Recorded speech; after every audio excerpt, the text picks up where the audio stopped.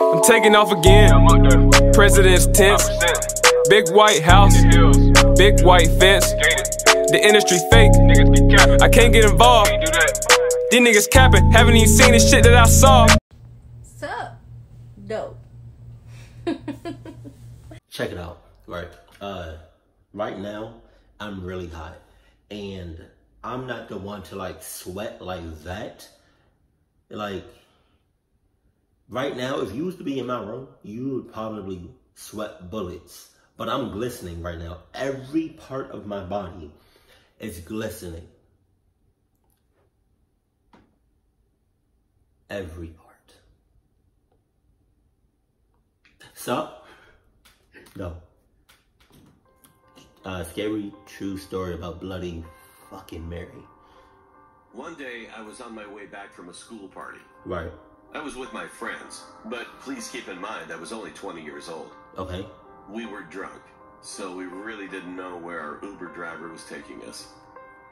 He took us through this road called Sunol in California, and everyone in the car knew this road had a very upsetting story behind it. I can tell because on both sides of the road is pitch black darkness.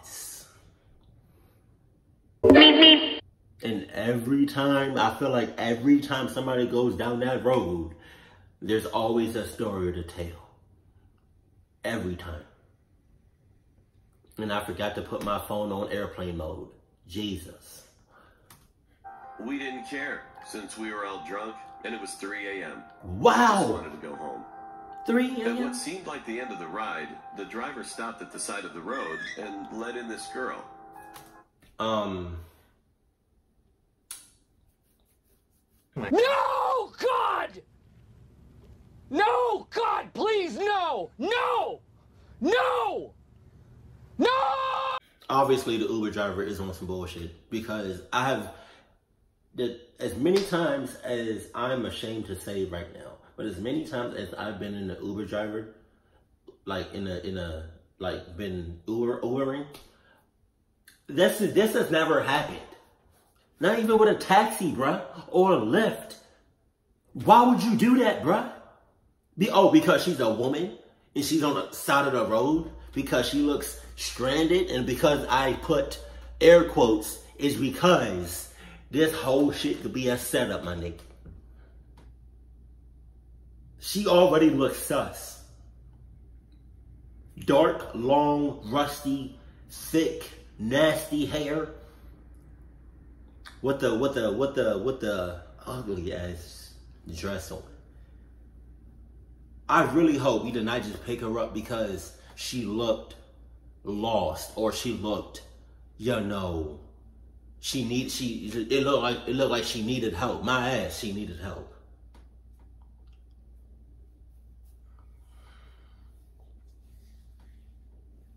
What the fuck? Why would why would you why would an Uber driver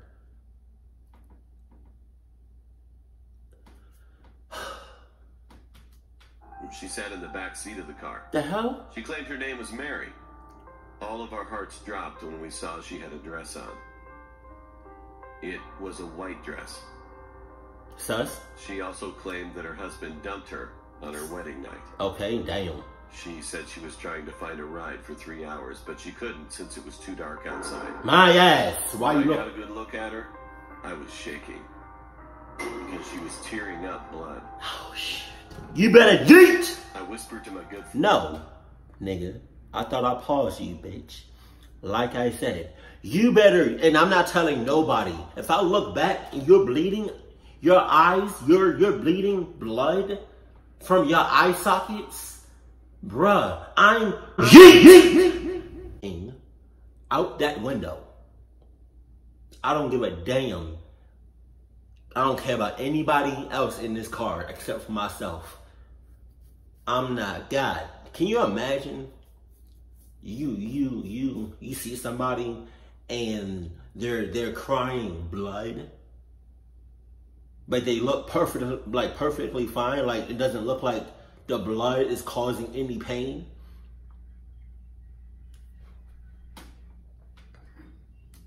Dominic, had told him about the Bloody Mary story. God. I told him that it took place on this very road and that the girl might be a ghost. Why are we driving on the road? Right as I finished that sentence, she looked at me through the rearview mirror Oh with my bright, white eyes and asked us if we were talking about her. No. My heart dropped once again. We asked the guy to pull over, but he insisted on dropping us off at our location. Drop, my ass off. Right, right clucking now. Please, if you don't, I will. You either stop this car and drop me off, or I'm yeeting out, out, out the car window. Because something tells me I am better off outside than I am inside this car. One of my female friends in the car started crying after Mary started reciting all of our names from the back of the car. We were scared because we didn't tell her our names. Now everyone in the car was crying except for me. It felt like we were driving forever, but it had only been 10 minutes. It got brighter out, and we realized that no one was in the back. It was a night spirit that was there, and it left because it was now morning. The next morning, I thought about what happened while I was taking a shower. When I looked in the mirror, I saw a scratch on my neck. Jesus. What what how many scratches was that? How many how many scratches did he have on his neck? Hold up. One, two, three, four, five. Five he had five scratches on his neck. Five scratches. You know what that means, right?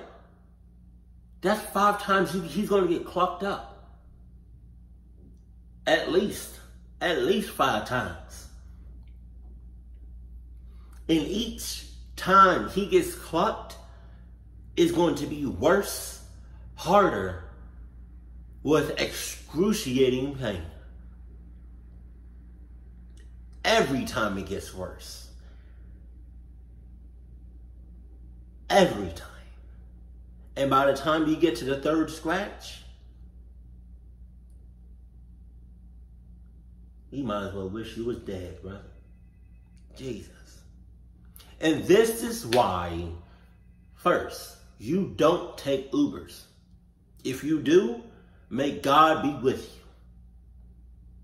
Because you're getting in a car with a stranger. That's how I feel about taxis and Lyfts. That's that's just the way it is. I've always felt like that. All right. Two, you don't pick up random people on the side of the road. I don't care. This is why I, I need to put my phone on airplane mode because if I don't, people are just gonna call me like somebody just did, or my notifications are just gonna, I'm gonna be seeing those. See, if I have my phone on airplane mode, I don't get no notifications or no phone calls, no nothing. Right? Yeah, but this is why you don't pick up people on the side of the road. I don't care who they are.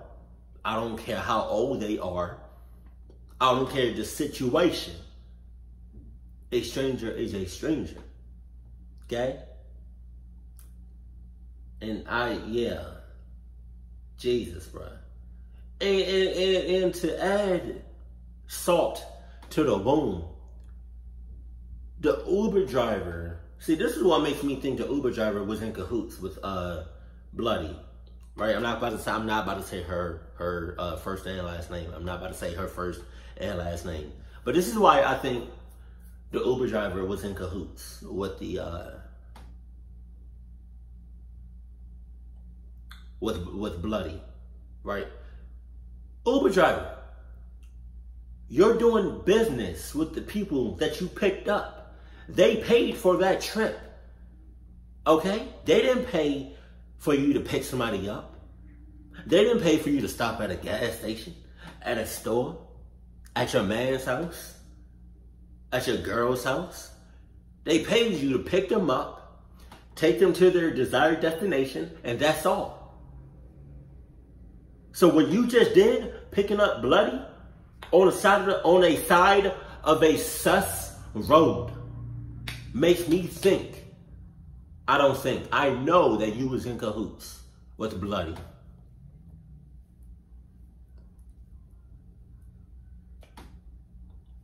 And don't tell me, and don't give me, oh, she's a woman and it's dark as hell outside. I, and it's 3 a.m. And it was 3 a.m. Come on, bruh. Red flags out the ass in this video. Jesus.